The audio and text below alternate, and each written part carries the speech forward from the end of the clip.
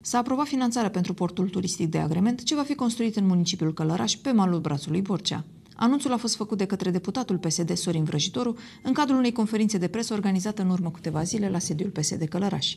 Săptămâna viitoare, ministrul turismului, Bogdan Trif, va fi prezent în municipiul nostru pentru a semna contractul de finanțare.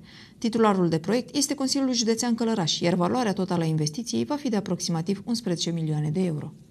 Am avut o discuție cu domnul ministru al turismului și m-a informat că săptămâna viitoare va fi prezent în Călăraș pentru a semna contract de finanțare cu uh, investiția Guvernului Portul Turistic.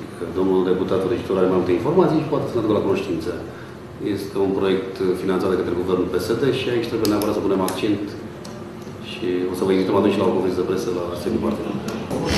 Pentru noi ca oraș, pentru noi ca județ, pentru noi ca țară, pentru noi ca organizație, pentru noi ca și guvern, din punctul meu de vedere, va fi o investiție majoră în județul și municipiul Călăraș, o investiție de, din câte știu eu, peste 11 milioane de euro.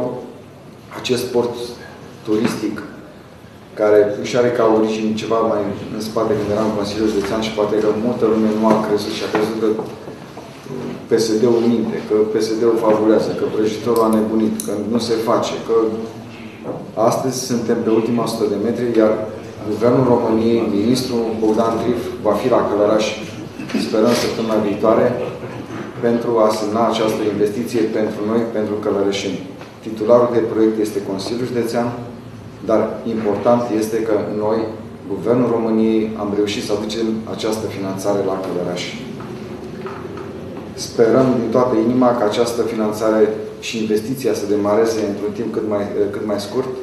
Consiliul Județean să fie gata cu toate documentele necesare punerii în practică acestui proiect, iar noi, călărășenii, să beneficiem de această investiție a Guvernului României.